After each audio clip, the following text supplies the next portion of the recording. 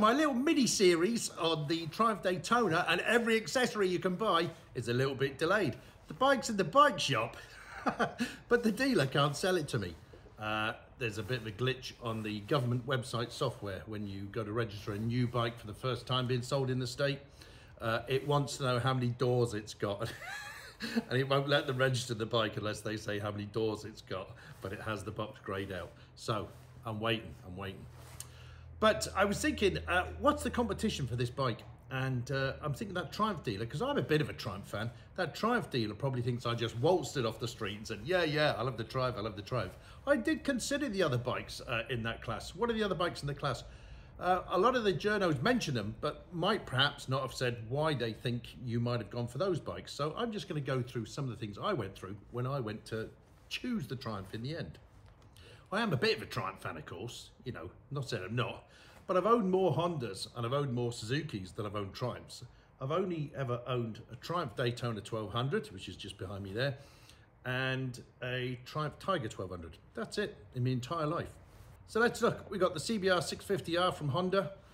What might, why, why might you consider that? Well, it's refreshed for 2024. Uh, it's got a color TFT. It's a four-cylinder engine, four-cylinder engine, so that's its unique selling point. Uh, it's got the e-clutch option. That's definitely a unique selling point. And it's very cheap. It's very cheap. Uh, it's quite a surprise. And it has backlit switchgear. Yeah, sorry, my GS was listening there. Yeah, yeah, that doesn't have backlit switchgear, nor does the new one. Some Chinese bikes have backlit switchgear. But this Honda 650 has backlit switchgear now. Uh, so, okay, that, that's a bike I considered. Uh, but I already have a Honda four cylinder. I just decided I didn't want another four cylinder bike. That was it for me. Uh, I, I, actually like that Honda CB650R, uh, but not for me. What else? Well, do you know, if you were just looking, some people might just be looking for that fair type sports bike at a reasonable price. So you might still look at something like the uh, full faired uh, CBR 500R. That has backlit switchgear, a huge 17 litre fuel tank and a colour TFT for 2024. It's a good looking bike. And of course, it's very, it's very good value for money. So I'm saying I think that is competition for that Triumph Daytona. Um, in that, in that, it just might, someone might be saying, I'm looking for that upright kind of sporty riding position, uh, but my budget's a bit tighter. Of course, we've got the R7. Uh, why might you go for the R7? Well, it's very notable in that it has adjustable suspension. It's obviously more focused for the track and racing. Uh, it has a color TFT, uh, but its big, big unique selling point, I suppose, is it's lightweight, 188 kilos. So that's going to attract a certain type of rider, uh, a bit more aggressive. That's not me. So, you know, that was out for me anyway. Of course, I think the biggest competition that everyone's talking about, just because it's it's one of the latest bikes, is the uh, Suzuki GSX 8R. Uh, it has a quick shifter as standard. Uh, the engine focuses on usable kind of low and mid-range torque. That might suit some people. Might put other people off as well, actually, but you know, might suit some people. Some of the unique selling points of that, uh, long-standing Suzuki things, clutch assist and easy start. I think they're two great, uh, great little technologies actually. And it has a color TFT. Uh, as I say, it's new for 2024, so uh, it, it, and it's out in the shops there now. Nice bike, nice bike. that probably would have been my second choice bike. Would have been my second choice bike. I did see some uh, road testers complaining about the quick shift on it, saying they didn't think it was that great. Uh, whether that was their individual bike, I don't, I, I don't know. Um, I love quick shifters on Triumphs and uh, and actually that BMW S1000 XR I had the other day, fabulous. And I'd hate to buy a bike and have a shit quick shifter like like my GS. so uh, now, as it happens, uh, the quick shifter at the time of making this video is being taken off the configurator for the Daytona.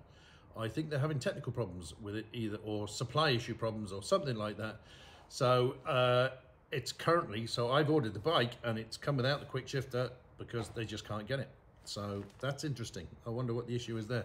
I wonder whether they thought uh, with the new engine, the different power output, the different characteristics, did they just throw on the quick shifter and, and the map from the Tridents and stuff like that and, and then go, oh, shit, this doesn't work very well at all. Um, maybe it needs some more work. Who knows? Who knows?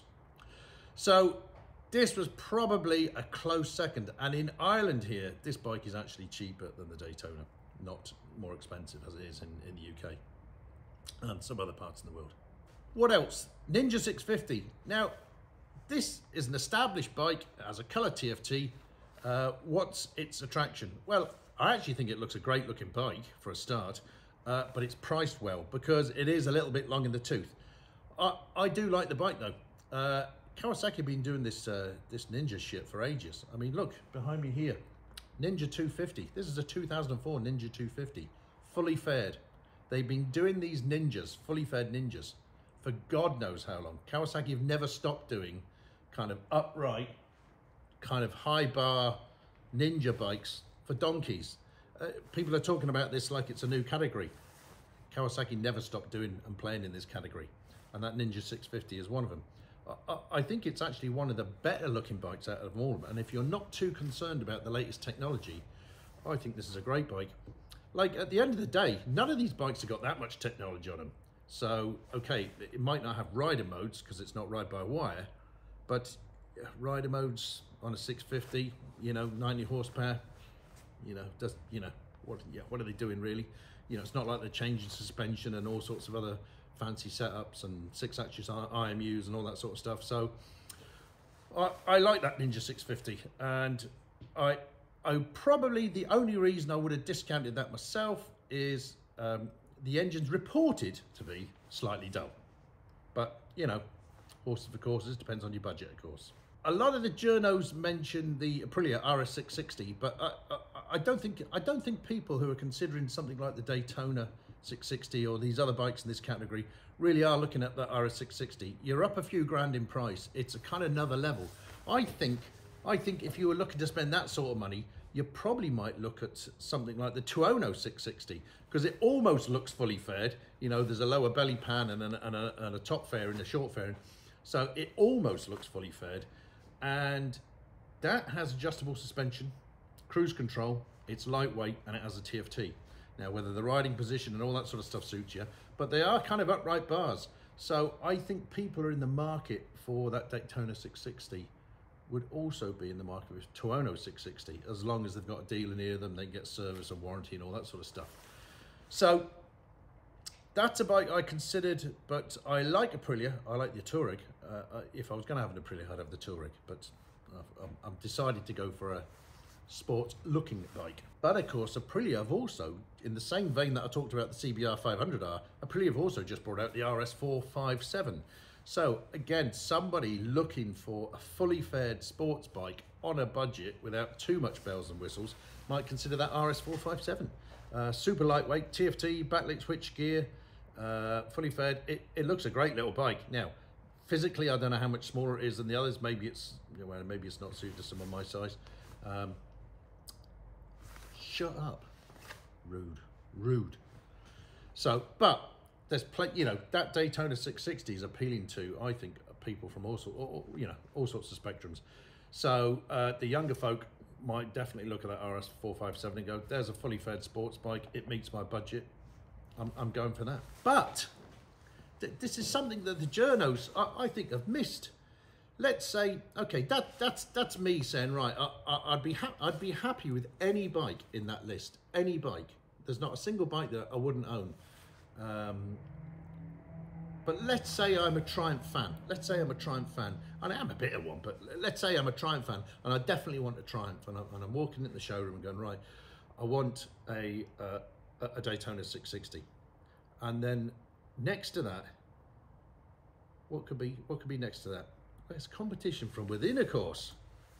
For only £1,200 in the UK or 1,200 euros in Ireland, you could have a Street Triple 765R and get 120 PS 765cc engine versus your 95 PS 660, Brembo brakes front and back, fully adjustable suspension for preload compression and rebound front and back, cornering ABS, cornering traction control, road range sport and rider configurable uh, rider modes, uh, quick shifter fitted as standard, a lighter aluminium frame and swing arm, 189 kilos instead of 201 kilos wet weight, uh, I'm trying. The only downside you'll find on the uh, 675, oh, sorry, the 765, is it has a 6,000 mile service interval versus a 10,000 mile service interval of the Daytona.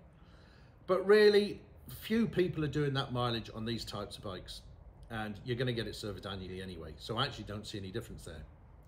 So you've you've really got to want, you've really got to want a faired sports bike style bike to buy that Daytona 660 because that's an awful lot of bike that 765 in the R spec the entry level spec. It has the same dash uh, but it has so much more. If if if if you had if you could add 1200 euros worth of options on your Daytona when you configured it up and put fully adjustable suspension on it and Brembo brakes and the six axis IMU and you tick the boxes and it and it came to 1200 euros, you jump at it. I know it's a, street bike, there's no fairing and all that sort of stuff. But a lot of people walk into a bike shop with a budget and there's the Daytona and you go, oh, that looks bloody lovely. And it does, it looks lovely. My bike's in the shop now, it looks lovely. I got the white one.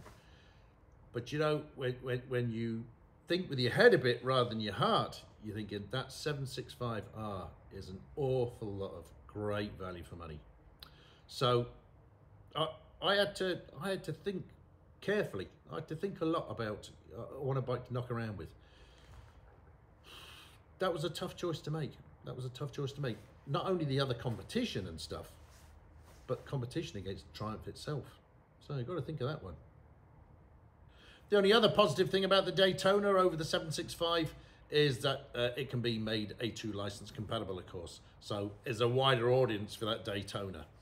And of course, you know, a lot of younger riders, myself included, when I was young, I, I, you know, well, actually not even when I was that young, in my 30s, when I had my Daytona 1200, it has fully adjustable suspension. I never touched it. I never touched it until much later on in life when I realized how much of a different ride I could get out of it.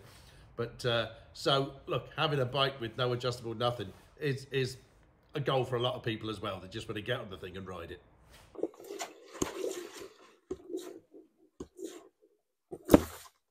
What's that? Oh, I didn't say why I chose the Daytona after all that. Yeah. I like the Triumph brand. Okay, that's one. The bike was drop dead gorgeous looking. That's two. But mainly, it was the engine. It was the 660 triple. Fantastic. Bit more exciting than a twin. And as I said in the video, I got a couple of four cylinders anyway. So it was the engine that made the difference for me. What's that? Next next time, don't don't wear a jacket that makes lots of noise. Okay, picky.